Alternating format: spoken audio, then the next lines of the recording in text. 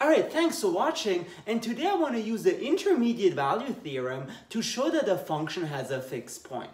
More precisely, suppose you have a function f from 0, 1 to 0, 1. So this just means f is between 0 and 1, and we have this is continuous, then f has a fixed point.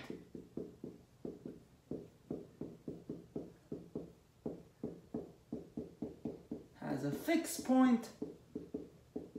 What does that mean? It means there's a specific point, think one half, such that if you apply f to it, then nothing happens. So there is is x naught somewhere in the interval 0 comma 1 such that f of x naught equals x naught. In other words, this point is fixed by f. So nothing happens here and there's actually a nice geometric interpretation of this because all that this means is that if you have a function like that from 0, 1 to 0, 1, for instance, like this, suppose f looks like this, then f must cross the line y equals x. Kind of like that. Okay. In other words, uh, there must be some point, x naught, such that the output of x naught is the same thing. And I'll give you some kind of neat applications in a second, but first let us prove this. So as I said, it is a nice application of the intermediate value theorem. So let's subtract this. So proof, okay, uh, let g of x be f of x minus x. All right, since f is continuous, well, g must be continuous as well. And moreover, let's calculate g of 0 and g of 1. Then, g of 0 is, well, f of 0 minus 0, and that's f of 0. But remember, f is between 0 and 1, so definitely this is greater or equal to 0. On the other hand, g of 1 is f of 1 minus 1, but remember, f is again between 0 and 1 so in particular f of 1 is less than or equal to 1 so g of 1 is less than or equal to 0 so what is happening? We have this function g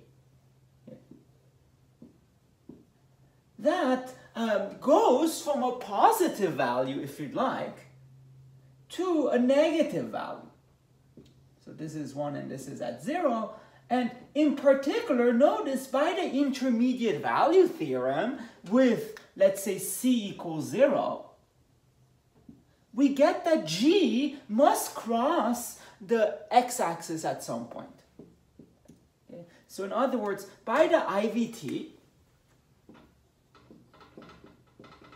with c equals 0, so the intermediate value here is 0, there is x naught somewhere in the interval 0 comma 1 with g of x naught equals 0.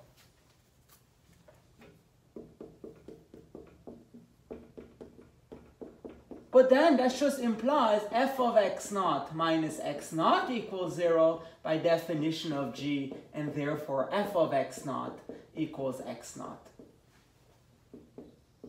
And that's it.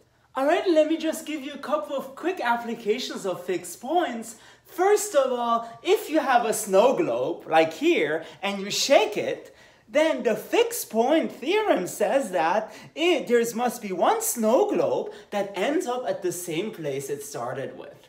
Because f of x naught equals x naught.